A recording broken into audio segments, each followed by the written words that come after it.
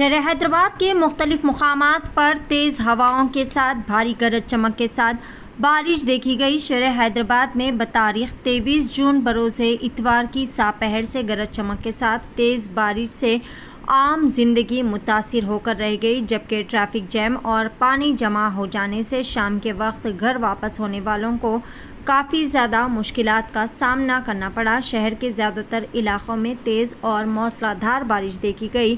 خصوصی طور پر شہر کے جنوبی اور وسطی علاقوں میں موسلا دھار بارش دیکھی گئی۔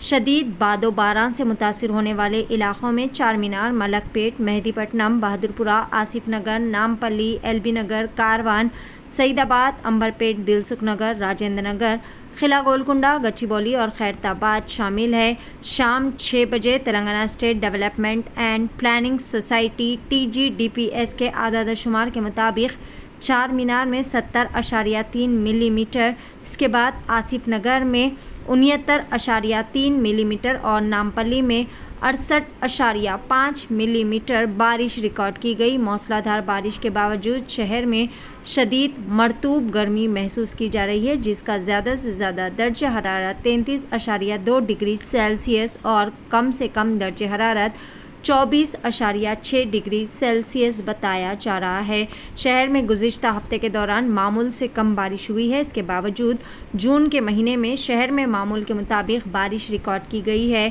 شہر میں چھبیس جون تک ہلکی سے اوسط بارش کا امکان ظاہر کیا گیا ہے۔ پیش ہے ڈی ٹی وی نائن کی یہ خصوصی رپورٹ۔